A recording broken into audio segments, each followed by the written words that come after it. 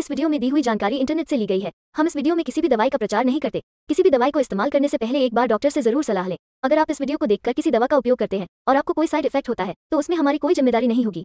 डोक्सीस्पो capsule एक बहुमुखी antibiotic दवा है, जिसका उपयोग बैक्टीरिया के कारण होने वाले कई अलग अलग संक्रमणों के इलाज के लिए किया जा सकता है। इनमें रक्त, मस्तिष्क, फेफड़े, हड्डियों, जोड़ों, मूत्रपथ, पेट और आंतों के संक्रमण शामिल हैं। इसका उपयोग यौन संचारित रोगों के इलाज के लिए भी किया जा सकता है।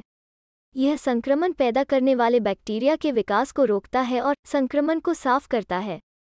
यह इस दवा के उपयोग या पेट, आंत, यानी कि आंत के संक्रमण के कारण होने वाले दस्त के इलाज के साथ साथ रोकने में भी मदद करता है। इसे डॉक्टर द्वारा निर्धारित समय तक लें और खुराक छोड़ने से बचें।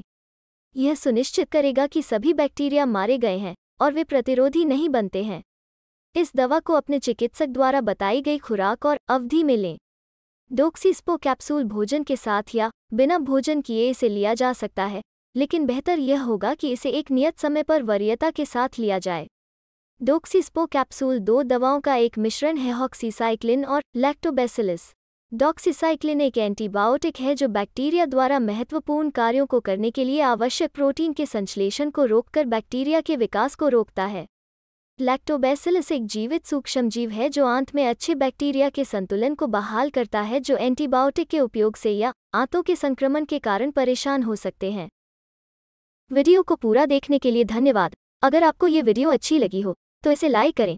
अगर आपने अभी तक हमारे चैनल को सब्सक्राइब नहीं किया है तो चैनल को सब्सक्राइब करके नोटिफिकेशन बेल को टर्न ऑन ऑल नोटिफिकेशन पर सेट करें। धन्यवाद।